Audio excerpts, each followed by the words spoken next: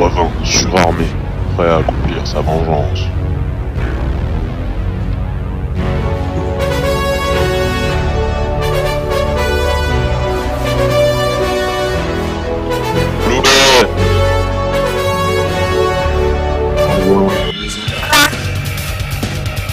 J'ai une revanche à prendre.